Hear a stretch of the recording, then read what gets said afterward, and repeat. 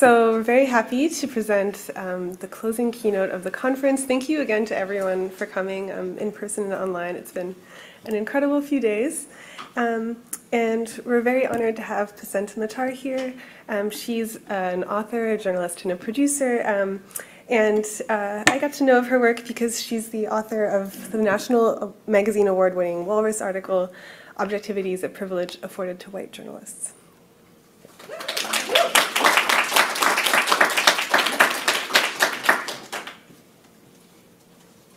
Hello, thank you so much for having me, Ali, Viv. This conference has been amazing, and I'm so honored to be closing it out. Um, and uh, this is a full circle moment for me in many ways. Um, I'm looking, for those of us in the room, I'm looking at my editor of the Walrus piece, Samia Madwar, who I'm meeting for the first time today. Nicole Schmidt is in the room somewhere, or was in the, oh, there you are. Um, and for those of us joining, for those of you joining online, uh, thank you so much for listening in. So um, what I'm going to talk about today is how fact-checking uh, helped me tell the story that I wanted to about objectivity, racism, and power in Canadian media. And I thought I would start by um, talking about why I became a journalist. So uh, very briefly, I was born in Egypt, specifically in Alexandria. This picture right here, if you look closely, you can see me and my mom in the rearview mirror there on, on a recent trip to Alexandria. This quote that I have up is one that um, hung above my 10th grade English teacher's class, uh, her desk. Her name was Miss Valencia. Went to high school in Dubai. I moved around a lot, and I saw this quote above her desk, and I identified with it immediately. I'm at home everywhere and nowhere, never a stranger, and I never quite belong. And it's that sentiment that really fueled my interest in journalism. So growing up between Egypt, Dubai, Saudi Arabia, Toronto, learned Arabic at home, learned French in public school in Toronto, French immersion, shout out French immersion, and, uh, and English everywhere. And so uh, I'll let you in on a little secret. I didn't have like a calling to become a journalist. It wasn't that I always wanted to do that. It was that I panicked at the end of my undergraduate degree, had no life plan, and thought, okay, what do you like doing? I like writing. I have a few languages.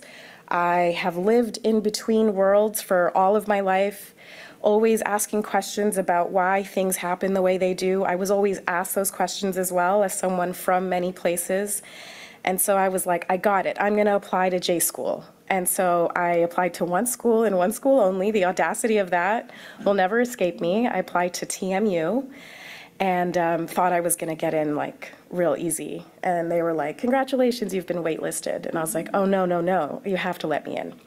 Thankfully, they did let me in. Um, and so I started there in 2008. And in 2009, I became an intern at the CBC, and that would start uh, what became a 10-year career in journalism. Uh, eight of those 10 years was spent at The Current um, on CBC Radio 1. I started there in 2011. Um, I began in TV actually in 2009, and I always joke around about having been rescued into radio. Uh, first, I was rescued by the team at As It Happens. I was there for two weeks. In the actually no, yeah, it started as two weeks in the thick of the Egyptian Revolution. Stayed for six months, and then uh, I applied for a staff job at the Current in 2011, and I that's when I joined them. And um, overwhelmingly, it was, I loved my time at the current. I loved the breadth of stories that we could tell. I loved um, coming up with intelligent ways of telling stories over a half hour in radio. We had documentaries, talk tapes, interviews, panels, debates. I loved it. This was the team at one point in time. I got to meet some cool people. When Ai Weiwei asks you for a selfie, you indulge him. Um, I got to travel. Uh, this was Anna Maria Tremonti and I accepting a Gracie Award for an interview that we did around the Me Too, uh, uh, Me Too movement.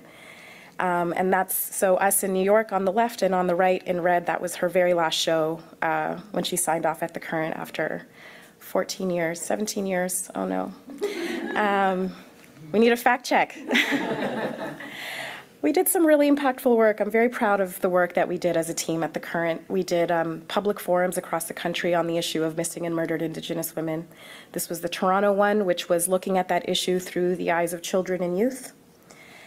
Um, Those are, that's obviously myself, Anna Maria Tremonti, uh, then executive producer Kathleen Goldhar, and my, uh, my friend and producer Josh Bloch.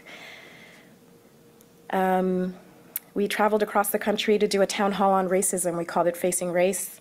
Um, Once upon a time, I was sitting where our tech people are, uh, making sure the show went, went to time and, and everything worked out.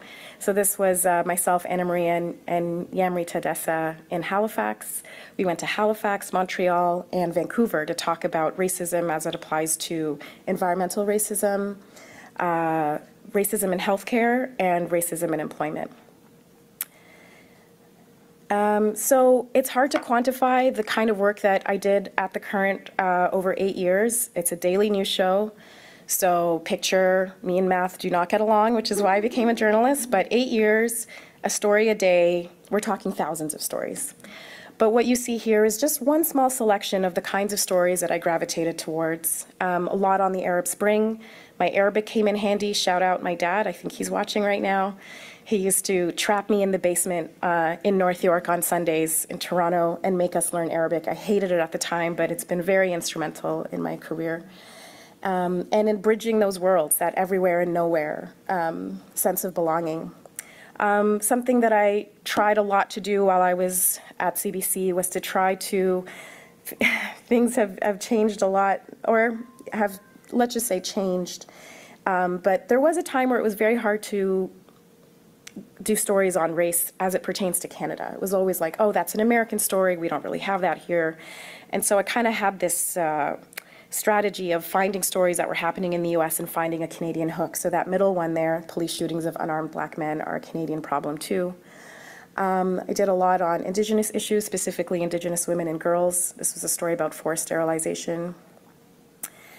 Um, and I tried to have some fun too. I love pop culture. You know, I loved getting into the diaspora wars that Drake created with his album More Life, taking from dance hall, uh, South African house, um, and beyond. We spoke to Somalia's first candidate, um, first female uh, presidential candidate um, from Nairobi. Anyway, um, but there was a, a, a, a dynamic that was playing out. Um, and this isn't unique to me, but this was the way I wrote it in my Walrus article. Um, and it was this. So, to be a journalist in any media organization or newsroom is to navigate the crush of the daily news cycle, the relentlessness of deadlines, the pressure, care, and complexity it takes to craft a story well.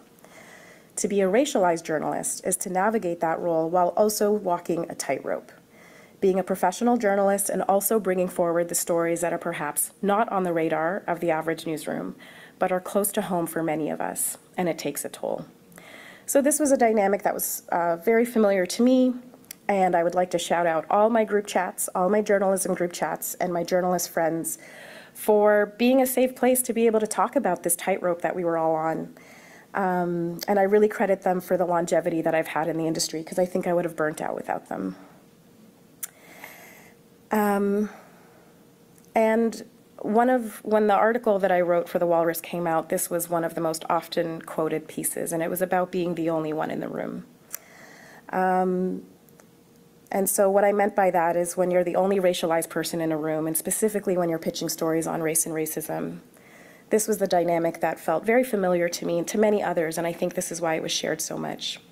Everyone who's been the only one in the room knows what it's like the silence that falls when a story about racism is pitched, the awkward seat shifting, the averted stares. We felt it and internalized it and expected it. We know that there is often an unspoken higher burden of proof for these stories than for others, a problem that has long been exacerbated by the fact that race based data is rarely collected in policing, healthcare, and other fields.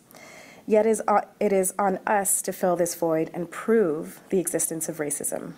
As a result, we over prepare those pitches, we anticipate your questions, we get used to having the lives of our friends and families and the people who look like them discounted, play devil's advocate to, and intellectualized from a sanitized distance.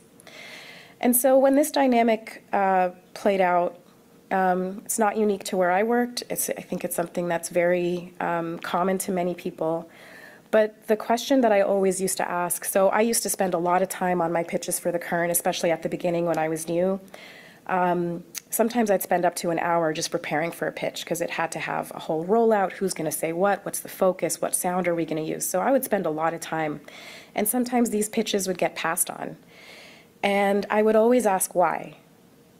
If I've just spent half an hour or maybe in a pitch meeting, five to seven minutes making the case for why we should do this story, I would like you to delineate why we shouldn't. And sometimes it was very helpful. Then I got very um, specific feedback. Oh, this voice is missing. We need this angle. And I would come back and pitch it the next day. Sometimes I'd get a green light. But then sometimes I'd get these very vague, um, these very vague reasons, like we're missing an audience connection piece. And I would be like, what do you mean by that? And so I asked why all the time. And I think as journalists, why is one of the most powerful questions, both in the work that we do and in the places that we do them. So why I was a thorn in the side of a lot of my editors because I always wanted to know why. So, um, in 2016, uh, five years into my time at The Current, and by this point, uh, seven years into my time at CBC, CBC launched uh, its inaugural Developing Emerging Leaders program. 16 of us were chosen from across the country. And this was an attempt to rectify the lack of racialized people in upper echelons, in management, boards of directors, editorial leadership. Um, and so I was one of the 16. I remember applying very skeptically, but something that helped sway me was that um, the program was meant to, I don't want to say fast tracked, but to highlight if either, if any one of these uh, graduates, if any one of us was applying for another job, a senior role, HR had to really take a close look at us and consider us very, um, very seriously. And so I thought, let's try this. Um, and there are some brilliant people in that picture that, you know, and I, I've said this before, this idea of us uh, maybe not me, but some of the others being emerging leaders when they'd been at the corporation for decades really didn't sit well with me. But I went with it. I wanted to believe in a kind of hopefulness that things were going to change. Um, this was in 2016, and I slowly started to, uh, during my time at The Current, I started as an associate producer, moved up to producer, and then soon I was starting to fill in as senior producer a lot. Um, to fill in for Christmas, you know, when people were away, but I was starting to take on the senior role. In 2018, uh, I got a very cool opportunity to go to Germany uh, for the Arthur F. Burns Fellowship. Um, Americans and Canadians went to Germany to report, and the Germans came to Canada and the US. Um, and this was an amazing transformative time. I got to report um, in a new country. Um, I was not desk bound like I mostly was at CBC. And I really got to tap into the things that I love doing, um, the stories that I love telling, and finding ways to tell it in a new context. I got to use my French immersion French, talking to the man on the left. Um, he was the Cameroon's youngest ever presidential candidate who had come to Berlin to court the diaspora vote. Uh, I did stories on the fight against anti black racism in Berlin and specifically the fight to rename racist street names. Um, and I also got to report for the first time and for one time only in Arabic on TV. And all I'm going to say is thank God for editors. um, so it was really uh, an amazing opportunity. And the reason I tell you about Germany is because while I was in Germany, a formal position for senior producer came up at CBC at my show. It's now 2018, so I've been at the show for seven years. I have filled in as senior, and I applied and I interviewed remotely for it. Um, I never feel good after an interview, so I can't say that it went particularly well. It didn't go badly, but I thought, okay, I have a shot. I've been doing this work. I've got, you know, I've done the Developing Emerging Leaders program. I've reported in Arabic in, in Germany. This was the head of the Syrian White Helmets, um, who had come for a meeting with Chancellor Angela Merkel, then Chancellor. And um, my first day back from Germany, I was actually asked to come back and immediately fill in as senior. That was going to be the job. And so I come in, I put my bag down at the senior desk, and I get called into a meeting. And the very first thing that they told me was, um, We know you applied for this job, but you didn't get it because you need more training. And I just was gutted. I was like, I don't know what else I am supposed to do here. I've been at the show for seven years. I'm already doing this job. Today, in fact, I'm doing this job. I applied for it. Um, I did the Developing Emerging Leaders program. And so um, basically, uh, I was heartbroken, but I continued to do the work. Um, And then another opportunity to, to fill in a senior in a much more substantive way came up. A colleague of mine went on mat leave, and I filled in for her mat leave for nine months. So every day for nine months, I was one of the senior producers of The Current, which is no small task. Did that for nine months. Um, At the end of those nine months, I was called into a meeting with the manager who said, I just wanted to tell you how wonderfully you've done. Your peers, your colleagues, your host, um, fellow show leaders have all noticed that you've done a really fantastic job. And I was like, oh my gosh, this is amazing. And I thought, um, this is the perfect time to ask for more of those leadership opportunities. And so I said that. I said, thank you so much. I'm so happy to hear that. I'd love more leadership opportunities. I want to do more of this. And I'd love for all this glowing feedback to be reflected in how I'm compensated. And um, her face when I said these things, um, specifically about wanting more leadership opportunities, if I could pinpoint a moment when I knew that I was going to leave CBC, it was in that meeting. Because her face just turned and she looked very confused. Um, she was taken aback that I was asking for more, or it seemed to me that way. Um, and I was very confused because I'd just gotten all this glowing feedback. Um, anyway, she told me the response was I was going to have to bide my time. So a month later, it's now 2019, um, another opportunity came up and I took it. So I left. Um, I didn't say why I was leaving, and it wasn't so much that I was leaving for this new opportunity, it was that I wanted to get out of a place that I think had shown me time and time again that I was not really going to move past a certain point. Always fill in, always back up. Um, and so I didn't really find the words to be able to talk about all of this until the summer of 2020. May of 2020 specifically, as we all remember, this was the month that George Floyd was murdered by a police officer in Minneapolis. And if you all remember that time, it was a very, uh, it was a very upsetting, overwhelming, and raging time. There were reckonings underway in almost every industry, including including ours. And I finally tapped into the rage, the frustration, um, and all these things that I'd never really talked about and never really had time to think about because the work was just so busy with these the crush of daily deadlines. Um, and so I put it into this piece. And I want to talk a little bit about how this piece came, the genesis of how it came to be. Um, I didn't know that I was going to write this piece, but on May 27, 2020, myself and a friend and colleague of mine, Nam Kiwanuka, were invited to do a talk on racism in media. This was in the wake of George Floyd's murder. And so I was looking forward to it, but I was nervous. This was, we were going to talk about our industry, racism in media, and I wasn't sure how honest I was going to be. I wasn't sure what I was going to say, so I asked Nam if she would get on a call with me just to talk through, like, what are we going to say? How honest are we going to be? And it was really me asking those questions because the industry is very small. I think half of us are in this room right now. Um, the other half are watching online. Um, but it was a it was a scary proposition to talk about what what it was like in the industry. And uh, I remember feeling like I played it very safe. I didn't say any of any of what I wanted to say. I felt very frustrated about my lack of honesty.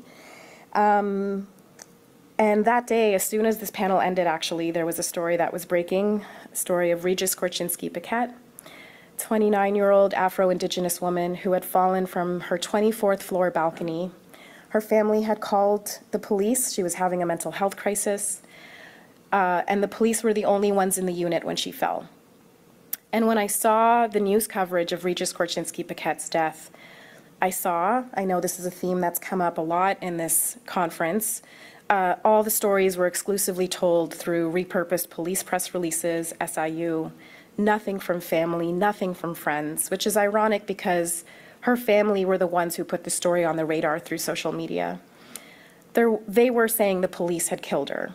And I can understand the hesitance of, of airing that statement, but the complete absence of any other source apart from the police did not sit well with me. And it just reminded me of so many things that I had seen during my time. Um, and so I remember getting a note from the Walrus's executive director, Jennifer Hollett. She had watched my session with NAM. She'd sent me this really nice, encouraging note. She said, I learned so much from you. um, you know, you did a great job. And I wrote back to her what was very rambly, chaotic, angry email, basically saying, I'm so ashamed of how little I said, actually. There's so much more I want to say, and I want to write it for the Walrus. And I thought I had this like airtight pitch, and she was like, cool, well, you'll have to officially pitch it. Here are submission guidelines. Why don't you take a shot at it? So I put together a pitch and I sent it off. And soon I got a response from Samia Madwar, who's sitting in the room. This is nice, so nice to see you in real life. And she wrote me this email, which was essentially green lighting the pitch, but saying, I also want to run through our fact checking process and how that might affect the reporting of the piece. And this was the first kind of sign that, oh my goodness, I was so angry when I wrote this pitch that I literally was like, I'm just going to do a 500 tweet long tweet thread um, and not write an article because it was just like spilling out of me. But I'm so glad I did not do a 500 tweet long tweet thread and instead took this to the walrus because then I got the beginning of an airtight process, a fact checked, independent um, news organization and institution that would help me tell this story in an airtight way. Um, so we got on a call. Samia walked me through what fact checking would mean. It terrified me, but it also invigorated me because I had the receipts to tell this story, and it was it could withstand a fact check. So the first place, the backbone of the piece, and the first place that I thought of starting this um, article was in Baltimore. I had gone there in 2015 to report on um, the protests against police brutality that had taken off after the death of Freddie Gray. Um, he was a young black man who had been chased, arrested by police, thrown in the back of a police van, and taken for what was known colloquially as a rough ride, not strapped in, driven very uh, erratically, and he was tumbling around in the back. Uh, his spinal cord was severed. He fell into a coma and died. Um, it was April of 2015 that he died, and the city erupted in anger. It was literally on fire. Um, by the time I got there, I got there in early May, and the day that I landed in Baltimore was a day that um, State Attorney Marilyn Mosby had announced charges against six police officers who were involved in his arrest.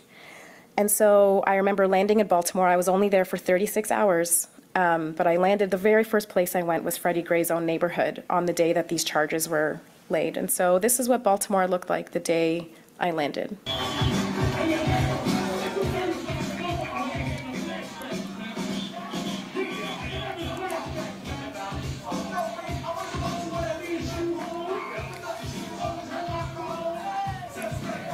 So you see, it's a very jubilant atmosphere. Um, the the charges these this was not a conviction. These were just charges against the six police officers involved in Freddie Gray's arrest. Such a rare sign of accountability that the the the, the neighborhood was celebrating that oh maybe we might see justice in in his death. Um, none of the six would go on to become uh, to be convicted. Um, I had gone to Baltimore to tell uh, the story of Tyrone West, who was another black man that was killed after an encounter with police. I went to interview Tawanda Jones in the black T-shirt on the right, and his mom slash aunt Diane Butler. He had been pulled over in 2013. He was driving Tawanda's Benz. Police pulled him over, accused him of having drugs. He started running. They chased him down and began to beat him, and he ended up dying as they were beating him. The official cause of death was listed as cardiac arrhythmia, heart irregularity, and a struggle in high heat. And Tawanda Jones and her mom slash aunt Diane Butler just did not buy it. And since 2013, they have been protesting every single Wednesday. They call them West Wednesdays to try to get justice for her brother's death. And her basic point is that um, these same police officers have gone on to become involved in other cases where black men have been uh, killed or um, otherwise uh, experienced violence. And she was saying if we had acted sooner, if these police officers were taken off the street, maybe other people wouldn't have suffered. So she's still protesting, even online, um, even during the pandemic, she was holding West Wednesdays online. But the, the, the thing that stood out to me the most in Baltimore was a chance interaction I had with two men um, in Freddie Gray's neighborhood, that same jubilant atmosphere that I had shown you earlier. I basically stayed there all day, interviewing people, talking to them, asking what their experiences were. And uh, there was a curfew in effect when I was in Baltimore. So at 10 p.m., everyone had to be off the streets. And I was looking at the time, it was very close to 10, and I was about to turn in. I was hearing helicopters starting to circle overhead, and the energy in the area was just changing. It didn't feel that same kind of jubilance and excitement. But um, I was just about to go into the subway when I was stopped by this man in the black t-shirt, Lonnie Moore. And he stopped and asked me, what news organization are you with? So I immediately take the opportunity, turn on my Marantz, and um, I begin talking to him, and I asked him one question. Um, I asked him, how many Freddie Grays are there in this neighborhood? And what's the relationship like with, with you and police? So he begins talking, and almost out of thin air, this other man appears, uh, Jared Jones in the red, and he joins the conversation so seamlessly. Um, and they begin, it, I literally was almost like not there. They were just almost in conversation with each other, echoing each other's statements, finish each, finishing each other's sentences, and they'd never met before. And so um, I stood there on that corner with them for about 45 minutes. Um, and I want to tell you a few things. I'm going to play about three minutes of this tape. Um, there's a few things that I want to tell you about to contextualize it. One, this will become relevant later, when Jared Jones in the red appeared, I stopped and asked him his name. And I'm, I had a, I will never forget this, I had a J school professor in my first year, Bob Ortega, in my city reporting class. And he failed me on my very first assignment because I had gotten the name of a subject wrong. And he said to me, if I can't trust you to get the name of a subject wrong, then I can't trust that anything else you say is accurate. So here's me, having barely made it into J school, waitlisted, failing my first assignment, and I was scarred. But what it did is it made me so um, insistent on getting people's names right. So the first thing I did, mid-conversation when Jared Jones shows up, is I pull out my notebook and I say, Jared Jones, J-A-R-E-D, and he says, no, it's J-A-R-R-O-D. This will become relevant later. So you're going to hear part of our conversation, and by our conversation, I really mean their conversation. You won't hear me at all. Um, Few things that I want to set up for you so you understand some of the context. Um, A, you're going to hear them say, I salute those kids. What they're talking about and referring to is the students or the young, the young people, the youth that had started the protest in Baltimore. It had originated, originated in a mall there, the Mondawmin Mall. Um, And you're going to hear them say, uh, what took place earlier was a sample of our injustices, and if they don't convict those police, it's going to be worse than that. They're talking about the fact that the CVS was on fire, the city was literally burning. Um, And the last thing I'll say is that this tape is not easy to listen to. There's racist language, there's uh, descriptions of police violence, and so it's not easy to listen to, and so I wanted to flag that before we press play. So um, we can play it now. In some cases, they call you names. I've been called nigger, thug, all any name you can think of by police. And some, you know, and some of them are white and some of them are black. You know, it's just it's not a black and white thing. It's a civilian police thing. That's Lonnie in the black, My aunt from here, and that's Jared. like I said, I've never grew up in environments like this. They think that we make that. I think they think that we making this stuff You know what they also You know think? They think that we playing the victims. Yeah, Oh, like- you, know, you sell drugs. What do you expect? That's you, you deserve to die. Come on, And, man. uh, well, that's your fault because you live there. Listen, my father was a firefighter. My aunt owns a hair salon. My grandfather worked for the city of Baltimore until he passed away. You know what I'm saying? We don't, we, we didn't need or have to live where we live at in this city.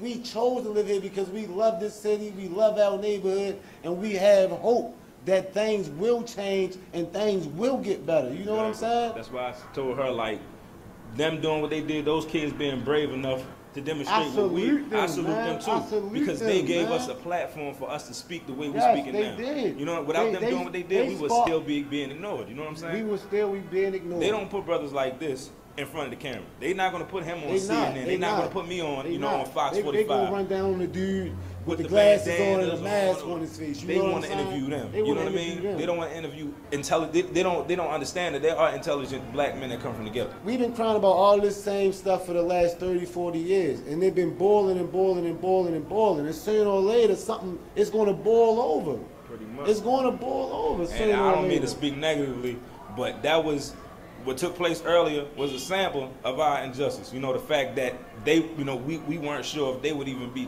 you know, tried or charged. Right. If tho- if they don't convict those police, oh my God, If they don't convict It- those police, they gonna- think Monday was bad. it's gonna be worse than this. It's gonna be bad. Unfortunately, and, Unfortunately. we're not promoting negativity Right, or we anything not like that. We're just negativity speaking on the understanding the environment that we That's come that's from. all. Like it, it hurt me to this. It, like I cried watching I Bill too. O'Reilly on TV talking about stuff that he don't know nothing, Nothing about.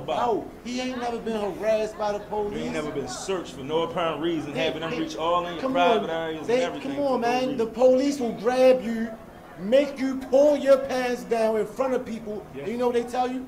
Lift your sack up. so they can search Lift under up that for your drugs sack. or anything like that. And That, that is a violation of your human rights right there. They they not supposed to be able to do that. But they do do it because they know that they can and nothing will happen. And, and that goes to Nothing answer will a question happen. that you asked me earlier. You said how many Freddie Grays do I feel exist in the city of Baltimore? Man, He's Freddie there's Gray. I'm plenty Freddie of Gray. We all plenty of Freddie them, Gray. man. We just we just they just ain't killers. So that's how that conversation went. And basically, uh, what happened next was a, a mistake that I made that I, uh, it haunts me to this day. But as soon as that interview was over, I turned off my Marantz, started to pack it up to go in the subway. And within seconds, uh, Lonnie Moore in the black t-shirt had left. It was just Jared and I. And within seconds, it was now 10 PM, police curfew's in effect, and the intersection that we were in just is completely stormed by police officers, telling us we had to leave. So I try to go in the subway, which the entrance is right behind us there. There's a police officer saying you can't go in that way. So we try to leave another way. There's again, yet another police officer saying you can't go in this way. So we were essentially, that we tried a third way, and everywhere we turned, there were police officers telling us to leave, but not letting us leave from where we were trying to leave. Things escalated very quickly, and before I knew it, there was a police officer chasing uh, myself and Jared, waving his police baton, calling Jared every name in the book. And I basically just ran. I ran, and I could hear Jared turn around and tell the police officer, ain't I a man too? Ain't I a man too? And we ran until we were out of, you know, out of the area. And I just remember it ended with Jared sitting on the sidewalk and crying, saying, we're tired. And so this is the most vivid kind of memory I have of my time in Baltimore. And so I came back to Toronto 36 hours later, such a whirlwind. And I wanted to air this piece to set up the documentary that I was going to tell about Tyrone West in the lead up to creating that doc. Um, And so I cut that tape, that piece of tape that you just heard, and I filed it. And then I was told by my executive producer that we're not going to run it. And um, I didn't understand why, so I went into her office to talk to her. And the very first question that she asked me was, How can you verify that these men gave you their real names? And so this was a question that kind of stopped me in my tracks. I'd never been asked about how I'd verified someone's name before. I'd been to other uh, protests and rallies and festivals, and you, you know, you take down people's names, but no one had ever asked me to prove that someone's name was right. And more than that, in the moment, even though I couldn't name it, you know, in that specific moment, it just, it felt like an immediate casting of doubt. Um, we didn't even, she was questioning their names, let alone their experiences. But then I offered her, I have, I know I, they gave me their real names, and I was, I told her the story of Jared Jones correcting the, the spelling of how I'd written his name. And that if this was someone who was lying about his name, he wouldn't go to lengths to tell me to, to spell it the right way. She seemed unswayed. The next question was, did you verify their accounts with the police? Which in and of itself is a question that, you know, I, I don't, can't imagine any police department getting a call from a journalist saying, hello, did you ask these men to pull their pants down and search in their genital areas for drugs? I can't imagine that they would have confirmed it, but as a journalist and in the process of how we do the work that we do, I had called the police department in Baltimore. I'd also called the police union. They had not responded to my requests by phone, by email. And so I told her that. And the conversation ended with her essentially reminding me about the important principles of verification, accuracy, and transparency. And this piece was not going to run. So I came back to my desk, sat down. Uh, an astute colleague of mine noticed my face, older white male colleague, and he asked me what was going on. I told him you know, this piece isn't going to run and I don't understand why. And he went into the executive producer's office, spoke to her, and came out. I still don't know what they spoke about in that room, but when he came out, he said, the piece is going to run. And if not for his intervention, this, this would have never run. That's just one example that I wrote about in the Walrus. The second one was uh, uh, around the town halls that we did on race and racism. This was the one that we did in Vancouver on racism in healthcare. One of the panels uh, was a panel of Indigenous nurses talking about the kind of treatment that they see that Indigenous people um, uh, go through in the healthcare system. And um, she was talking about the differences between how Indigenous people are treated and how white people are treated. And so um, this was part of our conversation. Here's about a minute and a half that we can play now.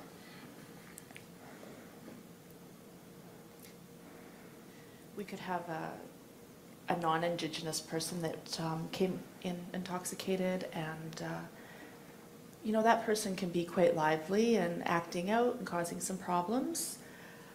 What I see happen with them is they're given food, um, told to settle down, and then they get a cab ride to um, one of the halfway houses or one of the, um, like the night places that we have that open up, some of the churches open up spaces at night.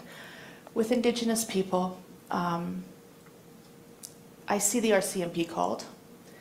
I see the RCMP handcuff those people.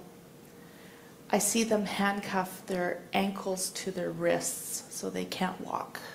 They can't run away, so they won't be a problem. I see um, I see those people get taken away in in the in the police cars, and um, I've I've often tried to intervene and explain that my patient is a residential school survivor. Please don't tie them up. Please don't do that to them. I will take them out. I will put them in your car. I'll put their seatbelt on. But no. I'm told by the RCMP that they are doing that for their own protection. So this segment, uh, obviously, we put in a call to the RCMP to ask about this practice, to say, to check what Diane Lindgren had just told us and include them in the coverage. They wrote back, sent us a statement, said that we bi- practice bias-free policing, we don't do this. And based on that statement, um, the executive producer on that series did not want to run not just this clip, but the whole segment. And I asked why, and he said, well, the police said it doesn't, doesn't happen.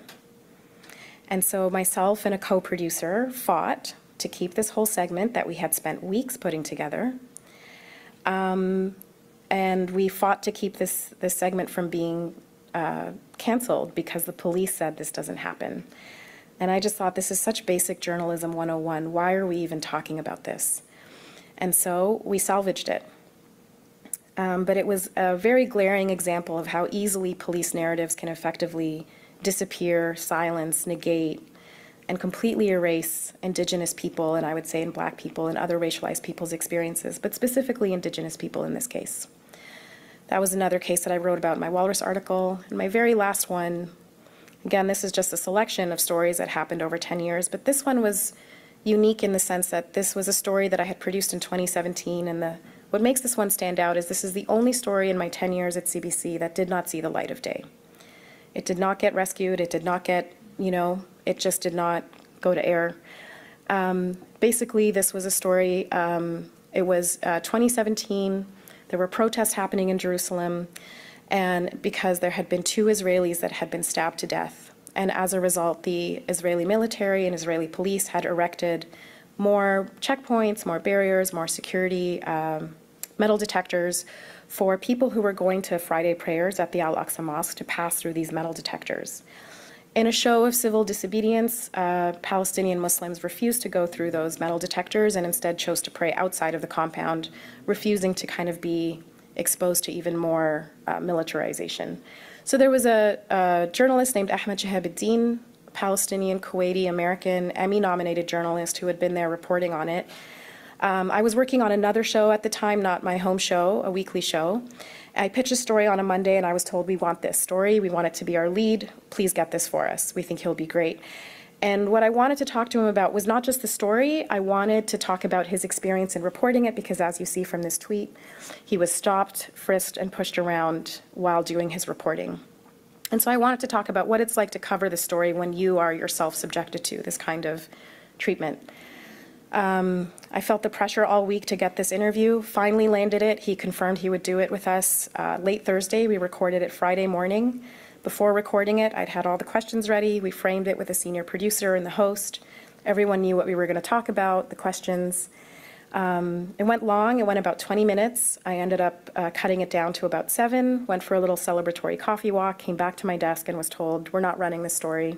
We don't have time to tell you why." Um, And I saw a senior manager leave the area that we were in, and I was wondering why she was there, and it was because they had just killed the story without even telling me that they were going to. I was not part of this editorial decision. I didn't even know there was a problem. The story did not run, and even a week later, I spent a whole week trying to understand what had happened here, and I never got a straight answer. So all of this went into my uh, my walrus piece, and it was very hard to writing. It was very hard. I, I wanted to give up. I want, frequently wanted to give up over four months. But the scariest part was the fact check. Um, so here's my snippet of my annotated uh, draft for Nicole, Nicole Schmidt, my fact checker who took this on. Um, writing this was hard as hell. Annotating it was hard as hell. But then here comes the moment where Nicole is going to call my colleagues and ask about these stories, and I was terrified. I was terrified about the ramifications. I was terrified about what that would mean for me. And I felt like this was going to be almost like a, um, a, a- trial of sorts, like that we're going to finally talk about and litigate what actually happened, not litigate, I know it's not litigation, but um, it, it was very scary um, for me and very, oh gosh, the anxiety that I had throughout this whole process. It's a miracle this piece ever got out. But here's what Nicole came back with. On the matter of Baltimore, you'll see in the blue, the executive producer um, said that she regularly asked reporters for verifications of sources, uh, verification of sources' names in their accounts. To which I was saying, this is the first time I remember her asking it of me. She also didn't recall the, the part of um, questioning uh, Jared Jones's spelling or me telling her that his spelling, uh, that he corrected it, and she didn't remember. But it was, I, it was so validating in a way to just get a response about what had happened here. On the matter of uh, the Jerusalem interview that didn't run, the senior producer and director told Nicole uh, that they felt the interview was too opinionated, which for me is confusing because I thought, well, we all knew what his opinion was going to be. We spent a week chasing him. You told me you wanted him to be the lead. So at what point do we ask someone to be part of a show and then say, no, but we don't like their opinion? But anyway, validating. I got some kind of response.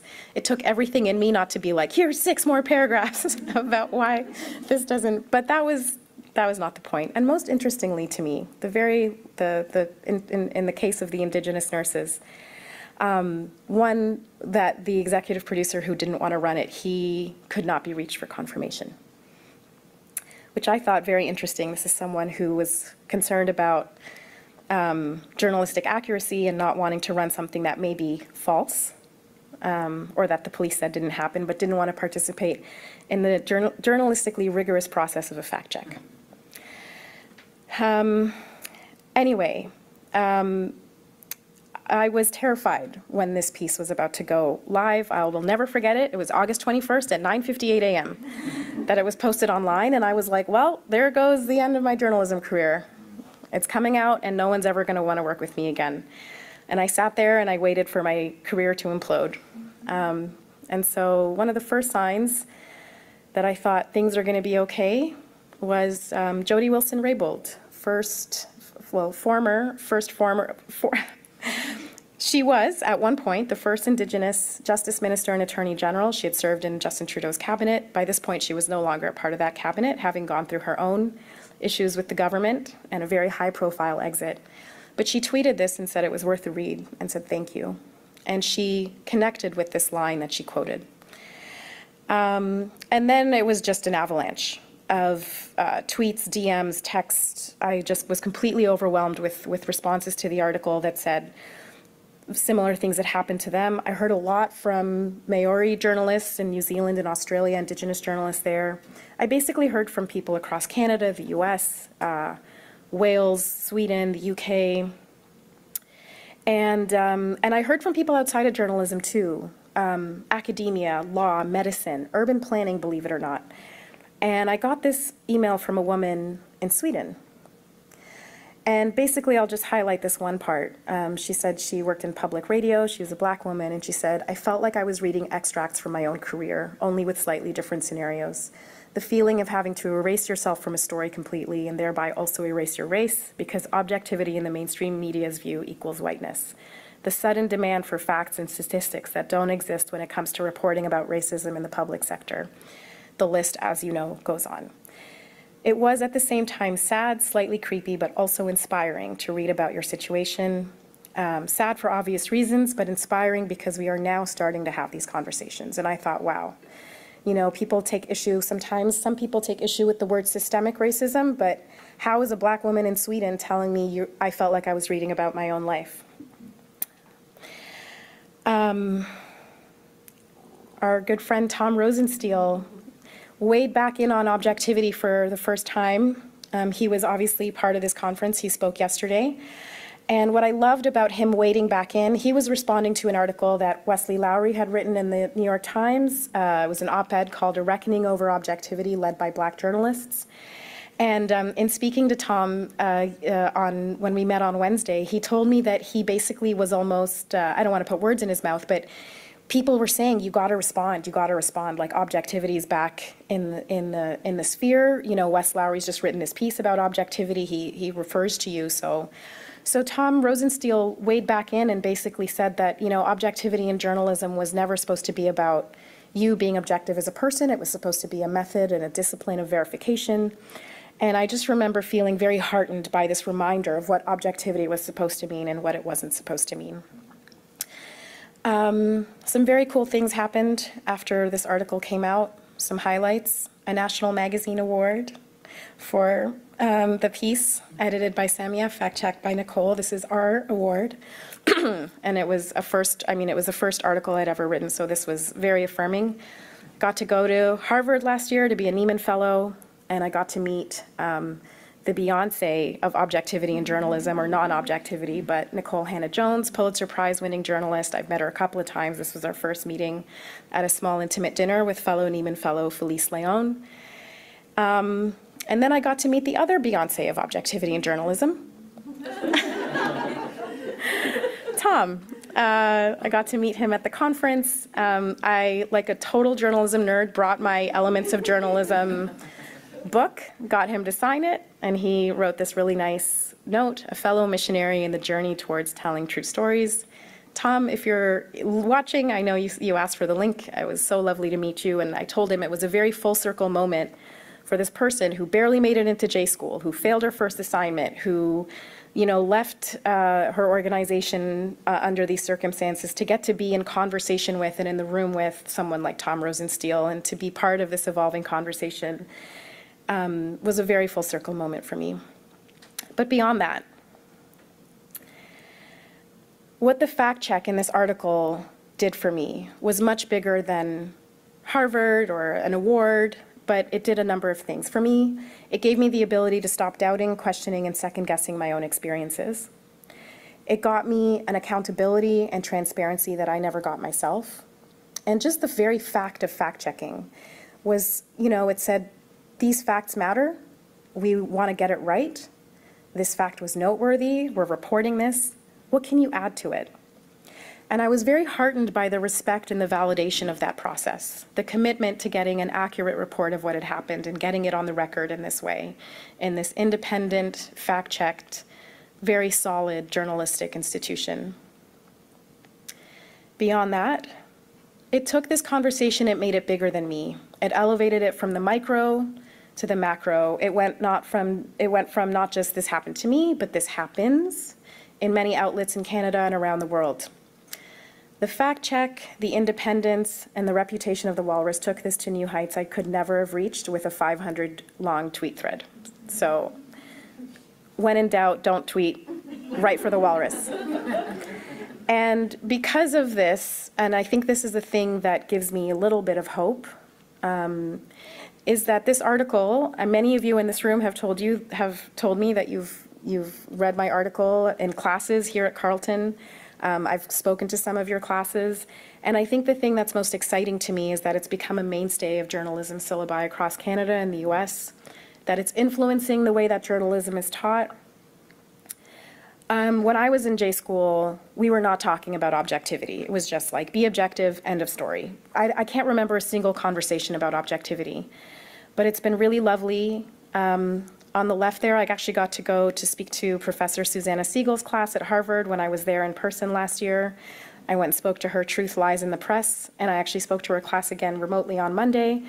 And on the right, I got to go back to TMU, where I barely almost got into journalism school and did my first ever in person lecture in Canada in September. And I'm just so heartened by the fact that um, these conversations are happening in J School. I love that we're talking about this. I love that students are um, writing their reports on objectivity and talking to me. And honestly, none of this had, would have been possible if not for the diligence of my fact checker, Nicole Schmidt, the, the um, very deft hand of my editor, Samia Madwar, for getting me across the finish line. I almost gave up on this so many times, but it felt so good to be working with people on this story, not against. I was very worried that this would become a whole other level of did this really happen? And so um, it's just been, I, I could have never imagined that this would happen when I wrote my chaotic, rambly first pitch to the Walrus. Um, in preparing to speak to you today, I'll leave you with this one last thing. I, me and Nicole finally, I'd never spoken to Nicole before, apart from just doing the fact check, but we got on a Zoom a couple of weeks ago and I asked her, what was it like to fact check this? Um, I felt like an ex-wife who was calling my divorce lawyer saying like, what did the ex-husband say when I wasn't in the room? But she came back with something very surprising actually. And she said that the thing she heard the most from people that she spoke to was, I didn't think about it like that. Or I didn't see it that way. And I thought, of course. Of course people see things differently. Of course people think about things differently. And I thought about how easy it is for all of us to not see things the same way, for things to be seen differently.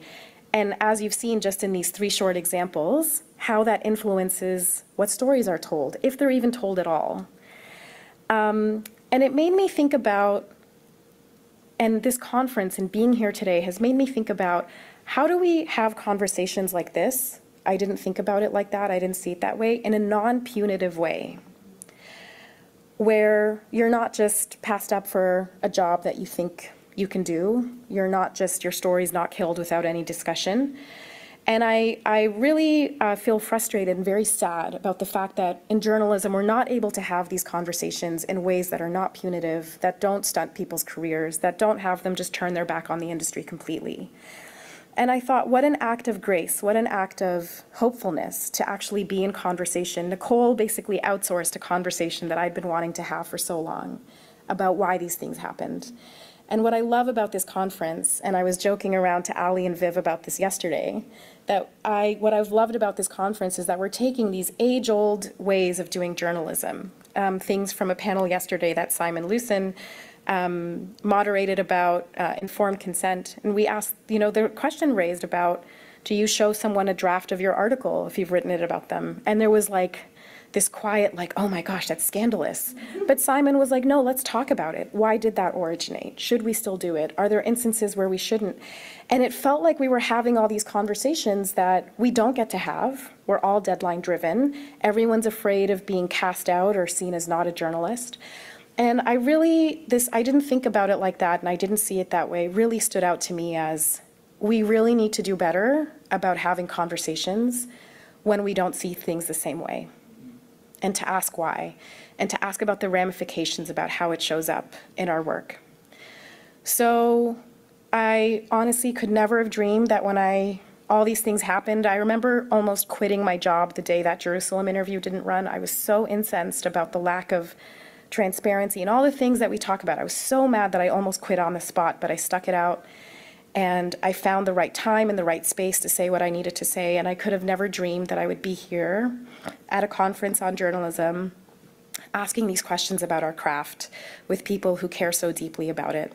So this this um, this article, uh, you know, it took me from from my job at CBC to to Harvard to syllabi across the country to standing here with you today, and none of it wouldn't have been none of it would have been possible without the diligence of my fact checker Nicole Schmidt, and the work and the institution and the, the journalism that the Walrus does. So thank you, Ali and Viv. Thank you for having me here today and for um, encouraging us to think about our profession and how to make it better. Thank you.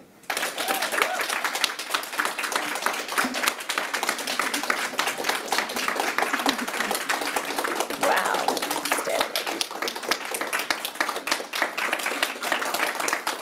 Thank you.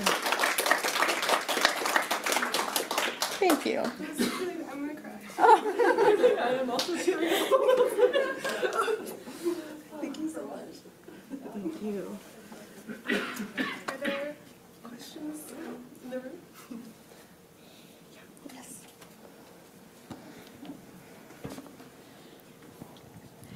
Thank you so much. Like Ali and Viv, I'm also tearing up on the inside. Um, I actually had a question based on something that happened to me when I was in my first year of journalism. I'm now in my fourth year. Um, I remember pitching a section for international students in news. So, for us to cover news that mattered to international students, because a lot of what we covered was very much just domestic students. And the Charlatan Carleton's newspaper at the time, the editor in chief told me that it wasn't relevant to the Carleton audience, even though about 3,000 students are international students. And maybe it's on me that I didn't pursue it any further or ask for more reasons. I just felt so defeated. And I was wondering, how would you have navigated that situation? Mm, it's a great question, and I feel like the not relevant. It reminds me of the like missing audience connection piece that I would get. So, I, again, I, I go back to the, the the question that we ask, or that I try to ask a lot, is like why. So, and and I I don't mean this to be a completely adversarial conversation, but I think why is your strongest your strongest tool. Why is it not relevant? and and and I don't want to say forcing, but encouraging them to think about what they mean by relevance and relevance to whom. This was for a specific audience that you had identified, and I, you came up with a number. You gave me a number. I would have said, well, it's relevant to 3,000 students, and and I and I would say, I know Day and I were just talking about. You were just telling me about a huge growing international student population. This is a story that's going to resonate not just here, but across. So I always ask why. Um, sometimes because it'll make the pitch better and you can come back with that information. Maybe he would have said, or she would have said, um, if you come back with stats about how many students, how many international students there are, and you can make the case for why this is going to be, maybe it would have gone forward. But I like asking why because it can make a pitch stronger, um, and maybe you get to do it. And if not, you're forcing people to, even if they don't see it in the moment, to think through their own biases, their own reasons, and their own ways of discounting things. And maybe your questions will enable them to see it differently. And that's always the goal with asking why for me. Yeah. Pitch it again. Tell them I said you should do it. Yeah, um, hi, Prasin. Hi. Thank you so much uh, for your address. Um, one of the things that happens is that a lot of us who write about these issues are often made to feel like we're competing against each other uh, because there's limited resources, limited spots available.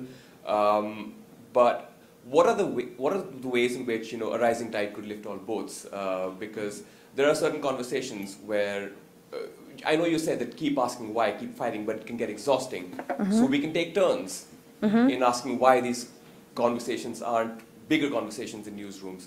Uh, how have you seen that happen with representation perhaps growing in newsrooms, do you think? Um, how, how can we fight this urge to think that we are all, so that racialized and BIPOC journalists are against each other uh, or pitted against each other? How do we fight this urge? How do we rethink the ways in which we interact with each other in newsrooms? Yeah, it's a great question. And I have to say, when I started in TV, I felt that very acutely. I, I used to be called by another producer's name who did not look anything like me, but we were the only two in that newsroom. And um, anyway, there was a very unhealthy uh, sense of competition that I was thrust into because there were so few of us. And it was so easy for me to be mad at this person. We, it was not an easy situation when I first started, but then I remembered that this, this, this sense of competition, this is, this scarcity mindset is a result of um, just how little space we all have. It feels like it has to be just one of us. And I think that's such a scarce way of thinking about it. And thank goodness when I moved into radio, the environment really changed. But I think it's so important to, I've, I've said it before, but if I didn't have friends, uh, uh, allies, people who I could speak to about this, where we could do this work together, you cannot do it alone. I would have burnt out long ago. But I think like find your people. There's going to be people who see this as competition. There will always be those people. But if we're all competing for the same thing, which is just the chance to tell the stories that we want to tell and to have the latitude and the space to do that. And it's, you know, I think it's also very flattening to be like, oh, because we're racialized, we're going to get together and get along all the time. And that's not necessarily true. So find the people who are on the same mission as you. And I would say, you know, in the case of my story in Baltimore, if not for the intervention of an older white male colleague, that story wouldn't have run. So, you know, allyship, I think people love to throw that word, around, but it's a verb.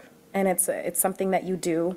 And so find the people who are on that same mission. And when you sense the competitive pitting against each other, um, like I, I understand it, but I realize that's not my fight. I'm not here to outcompete you. I'm, we're actually running the same race. Um, so I try to divest myself of that weird competitive thing because it's there. I'm not dismissing it, but I try to stay focused on the bigger, the bigger work and um, and finding people who are doing that work with me and not in a sense of competition. But it's hard. I feel you. I wanted to say one thing that I uh, forgot to say, which is that um, the minute I knew the story was going to be freaking airtight is when a friend of mine, um, I'll tell the story very briefly. I wrote about it in the Walrus, but I had friends over June 2020, month into uh, after George Floyd's murder. We're in the pandemic. Everyone's angry, enraged. We'd all been siloed and not seen each other. And so I invited a group of friends of mine. They were all black women, journalists. We sat on my back patio and we raged about what was happening. We we just shared about all the things that we were seeing and feeling in this reckoning and in this very angry time. And um, by the end of the day, you know, they stayed till night. I brought out candles, we had tea, we were laughing by the end and dreaming of creating our own thing. But it was a very, very hot day in June when this happened, unusually hot. And I wrote that in my Walrus article. And one of my friends who was on the patio with me that day called me and she said, Girl, this fact check is serious. Because Nicole asked me, What were you wearing? to prove that it was in fact a hot day. And I was like, Yes, I'm going to be bulletproof. So thank you for your diligence, Nicole. You made this bulletproof.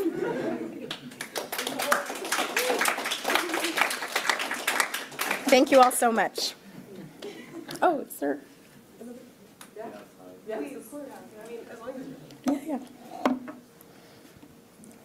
Um, I just wanted to say that was amazing, so thank you so much for that. And so my question is, in the last few days, we've talked a lot about the importance of fact checking, but also like its difficulties. Um, as an early career journalist and a student, there's often the extra barrier of having little to no resources or flexibility or time. Um, how can I balance my desire as a racialized person to report on these incredibly important stories with that reality? Mm-hmm. That's a great question, and I would say, like, I only got the resource of fact-checking through the Walrus. I'd never had that before. But what I did have, and what I brought to the Walrus was like, and this was in my fact-checking package to Nicole, like, receipts on receipts on receipts. All the emails, I would send myself notes, and this was maybe, maybe I'm speaking it specifically to when you're writing about journalism. Um, but I kept very uh, detailed records of everything that had happened conversations that had happened, emails that were exchanged, raw interviews that never saw the light of day. I kept my own kind of record of things so that when it came time to talk about it, I could. I could find it and, and dig it up. So I know maybe your question's a bit different and mine was a very specific thing, but I would just say like, um, do as much as you can to resource your own research. Like, um, do go the extra mile and have like information and i know there's misinformation and disinformation but if you have facts and research and material to support what it is that you want to write about um, you can do a lot of that on your own obviously the fact check makes it bulletproof but try to um, try to keep, find a way to kind of have your own records of the things that you want to write about, the things that you care about, so that when you are writing about it, you have a dearth of material and you're not starting from zero. And it's a long process, yeah, I would say. It's a great question. Okay. Thank you all. Again, thank you so much.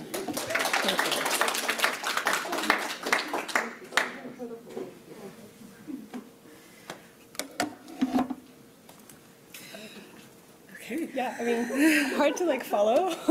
I'm still holding back tears a little bit. um, thank you all again so much for, for coming to the conference, to all the panelists, the moderators, all the speakers, the keynotes, Nagan, uh, Tom, Pacinthe, uh, for incredible talks, incredible discussions. We feel so grateful, so Yeah. privileged to have been able to work with all of you uh, over the past year and a half and to speak with you. And we've learned so much from all of you.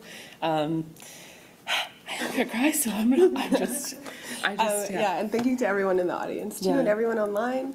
Um, and who uh, also, of course, our funders, the Michener Foundation, uh, Social Sciences Humanities Council, Research. Research Council of Canada. I still didn't get it.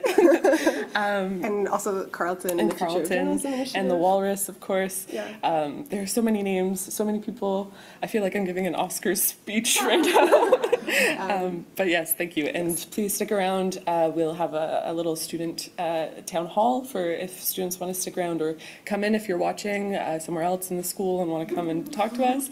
Um, I, I think some of us will stick around if, if you're. And um, the videos from this conference and all the content and also the fact-checking guide are all on our website, which is Yes. the tijproject.ca. So we'll see you there. Yeah.